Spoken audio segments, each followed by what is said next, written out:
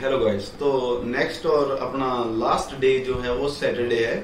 Saturday के अंदर हमें थोड़ा लॉन्ग वर्कआउट करना है, ठीक है?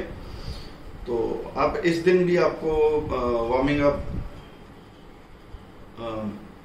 वन किलोमीटर करना है। देन आपको वेट ट्रेनिंग डे है। एबीसी ज़रूर करनी है इसके अंदर। आपको eight to ten exercise again ABC करेंगे। एबीसी कभी फास्ट नहीं की जाती वो स्टेबिलिटी में ही की जाती है क्योंकि वो आपके बॉडी के कोऑर्डिनेशन होते हैं। सबसे पहले अ, किसी एथलीट के कोऑर्डिनेशन चेक किए जाते हैं। अगर आपके कोऑर्डिनेशन नहीं है तो आपकी जेवलिन या कोई भी इवेंट परफेक्ट नहीं हो सकता। सपोज़ आप जंपर हैं या स्प्रिंटर हैं या आप थ्रोअर हैं आपका कुछ भी स्टेबल नहीं होगा। एबीसी आपको अच्छे से करनी है ठीक है?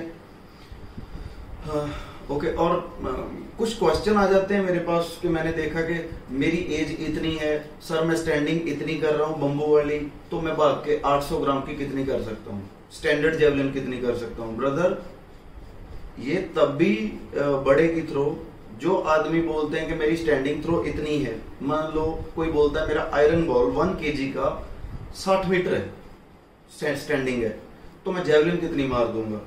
अगर आपका रनवे फ्लॉप है अगर आपके अंदर स्टेबिलिटी नाम की चीज़ नहीं है तो आप जेवलिन साठ भी नहीं मारोगे।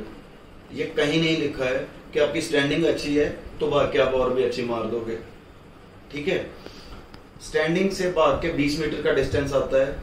वो तब आएगा 20 से 25 भी हो जाएगा। वो तब आएगा अगर आपका रनवे बहुत क्लियर है। आपकी टेक्निक बहुत क्लियर है। आपके रिदम्स बहुत क्लियर हैं।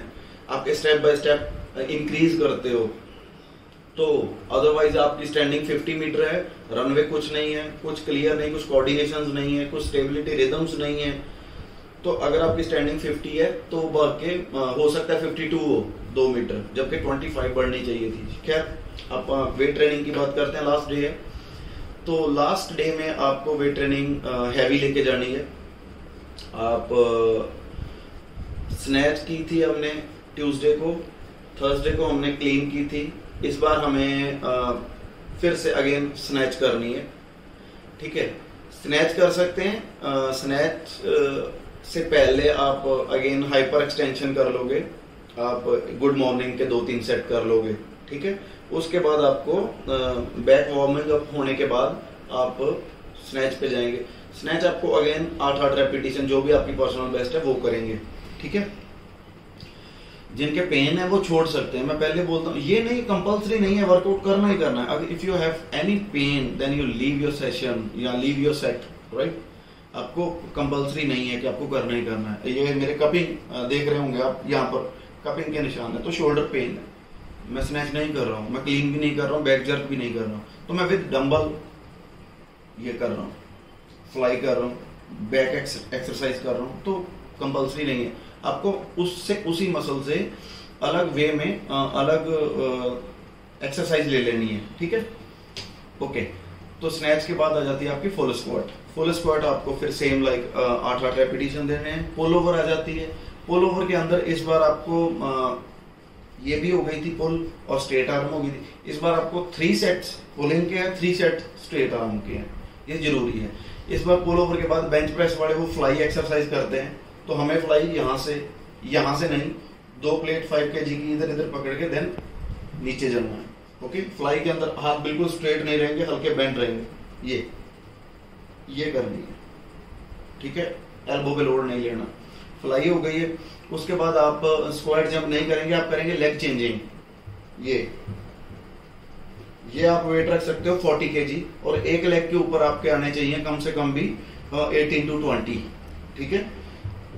लेग चेंजिंग हो गई देन आपको स्मॉल जंप करने खड़े खड़े टो के ऊपर, आपके पैर के टो के ऊपर, ये। ये आपको 20 जंप करने हैं, ठीक है? ये आपका अगेन दोनों लेग के वर्कआउट हो गए। उसके बाद आपको नी और हैमस्ट्रिंग की एक्सरसाइज वो करनी है। देन आप काव एक्सरसाइज कर सकते हो। फिर आपको हिप थ्रस्ट करने हैं। हिप थ्रस्ट के बाद आप थोड़ी सी साइड कोर कर सकते हो, थोड़े से एब्डोमिनल वर्कआउट कर सकते हो, ठीक है? ये हो जाता है, उसके बाद आपको रोटेशन वर्क अगेन करना है। ठीक है? अगर पेन है तो रिहैब करो 30 मिनट, अगर पेन नहीं है तो रोटेशन वर्कआउट विद प्लेट्स करना है आपको। सिंगल आर्म रोटेशन आगे को, पीछे को देन आगे पीछे दोनों देन आपको ए डब्ल्यू टी वाई कर सकते हो। ये ये और पीछे को और ये ऊपर लेट के। मतलब ये लेटना है नीचे को मुँह करके देन ये करना ये ये मेरी आ, मैंने बता रखी है वो करना आपको री है उसके बाद आपको ग्राउंड में अगेन आपको ग्राउंड के अंदर जाना है तो आपको जंपिंग करने की ज़रूरत नहीं है क्योंकि आपने ऑलरेडी थोड़ी बहुत कर ली है। आपको ग्राउंड के अंदर जाके फिर से स्प्रिंटिंग करनी है। स्प्रिंटिंग आप करोगे 80 मीटर के छह रेपिटेशन करने हैं आपको। या 100 मीटर के कर सकते हो या 80 मीटर। इसके अंदर आपको स्पीड बहुत ज़्यादा नहीं चाहिए। आपकी स्पीड होगी 60 टू 70 परसेंट, ओके? हमें स्पीड नहीं करनी। ताकि अगर हम वेट ट्रेनिंग के बाद स्पीड करेंगे तो कोई मसल पुल हो सकता है, वो स्टिफ हो चुके होते हैं। देन आपको स्प्रिंटिंग वर्क करके आप पार्टनर स्ट्रेचिंग करें कूल डाउन करें अच्छा सा वो वीक का लास्ट डे है तो अच्छे से स्ट्रेचिंग वगैरह करें।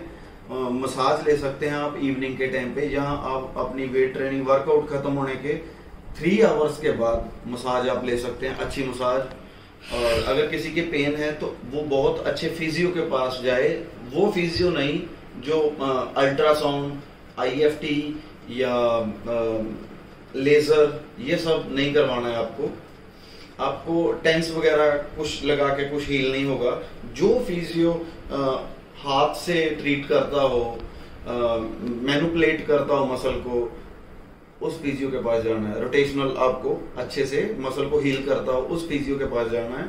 तो ऐसे बहुत फिजियो हैं उनको खाली ढूंढना पड़ता है। आ, तो अगर नहीं किसी को पता चलेगा तो वो पूछ लेगा। बहुतों को मैंने बताया है कि मैं नहीं चाहता कि अगर आपको ज़िंदगी में बीट होते हो तो आप खुद से बीट होते हो। खुद से बीट होना इन द सेंस आपके इंजरी है। और आपका मूड बहुत अग्रेसिव है। नहीं नहीं, मेरे को थ्रो करना है, कुछ भी हो जाए। इंजरी को हम बढ़ा लेते हैं। इंजरी के टाइम पे हमें यहाँ से काम लेना है। आप 20 दिन थ्रो नहीं करेंगे, आपकी थ्रो बैक नहीं आएगी। 20 दिन थ्रो नहीं करना मैंने बोला है। वर्कआउट करना है। अगर आपके यहाँ इंजरी है तो लेग्स का वर्कआउट कर सकते हो लेफ़्ट आर्म का भी कर सकते हो। लोअर बैक की इंजरी है तो आप बैठे बैठे जिम के अंदर एक्सरसाइज कर सकते हो, बैठ के बेंच प्रेस कर सकते हो सॉरी प्रेस कर सकते हो। ये सारी एक्सरसाइज करनी है। आपको रेस्ट प्रॉपर रेस्ट कभी भी नहीं मिलता है। और बहुत डॉक्टर्स को सीरियसली मत लिया करो, जो बोल देते हैं, यार, आपको अब गेम छोड़ना पड़ेगा। क्योंकि अगर ऐसे छोड़ना पड़ता तो मैं शायद 2007 या 8 में छोड़ देता। मेरे आज तक 21 इयर्स कैरियर के अंदर ये कम से कम 20 टाइम इंजर्ड हुई है एल्बो। तो ये मेरे को भी डॉक्टर्स ने बोला था, ऐसा कुछ भी नहीं है। आप अच्छी रिहेब करो, आप उनको गलत साबित कर सकते हो। ठीक है? अगर हर चीज़ को हम गूगल करते हैं सपोज़ कि मेरे पेन हो रहा है, मेरे ये पेन है तो क्या करें? अगर आपके कभी चेस्ट में पेन होगा ना तो आप गूगल पे सर्च करें कि मेरे चेस्ट में पेन है तो क्या हो गया? तो गूगल बोलता है हार्ट अटैक हो गया है। गूगल को सीरियसली मत लिया करो ज़्यादा। अपने ऊपर फोकस करो। जो आप बेस्ट इमेजिनेशन करते हो मेडिटेशन किया करो अच्छी थिंग्स पॉजिटिव रखो और अच्छा वर्कआउट करो। मैं ये बोलता हूँ कि नेगेटिव थिंग्स बिल्कुल मत आने दो। आप कोई फ़र्क नहीं पड़ता है। आप एज हो नहीं एज हो आपको आ, कुछ बोल रहे थे सर मेरी एज 20 साल हो गई क्या मैं अभी जेवलिन कर सकता हूँ? मेरी 25 हो गई। तो मैं एक एग्ज़ाम्पल देता हूँ। अपने एक ओलंपियन हुए हैं जेवलिन थ्रो के अंदर पंजाब पुलिस में है एसपी जगदीश बिश्नोई। तो उन्होंने ग्रेजुएशन जब स्टार्ट की थी, तब जेवलिन स्टार्ट की थी। तो उन्होंने 79 मीटर बेस्ट थ्रो किया और वो 2004 के अंदर ओलंपिक गए थे। ठीक है? तो लेट नहीं कुछ भी होता है। अगर आपकी डेडिकेशन उतनी स्ट्रांग हो तो आप लेट में भी कवर कर सकते हो। वो उसका कोई फ़ायदा नहीं है कि आप कर तो बहुत साल से रहे हो, आपकी डेडिकेशन है नहीं तो फिर आप थोड़े बहुत मेडल लेके तो आप साइड हट जाते हो वो चीज़ नहीं करनी। अच्छा करो ओके तो ये आपका पूरे वीक का वर्कआउट प्लान था जो बहुत मैसेजेस भी आते हैं वीडियोस भी आती हैं। तो नेक्स्ट मैं आपको बता दूँगा डाइट ठीक है? पूरे वीक की डाइट बताऊँगा। नेक्स्ट वीडियोस आएँगी जो उसके बाद अगर आ, कोई चाहता है कि सॉरी मेरे को ये बोलना नहीं चाहिए था। कोई चाहता है कि सप्लीमेंट्स के बारे में भी हमें नॉलेज लेनी है। तो वो मैं थोड़ा पेड कर सकता हूँ उस चीज़ को, क्योंकि गारंटी रहेगी कि वो चीज़ पूरी सेफ़ सिक्योर और आपके लिए बहुत अच्छी हो नॉट हार्मफुल हो। किसी तरह की कोई आपके स्टमक के अंदर किडनीज के अंदर इंजरी ना हो।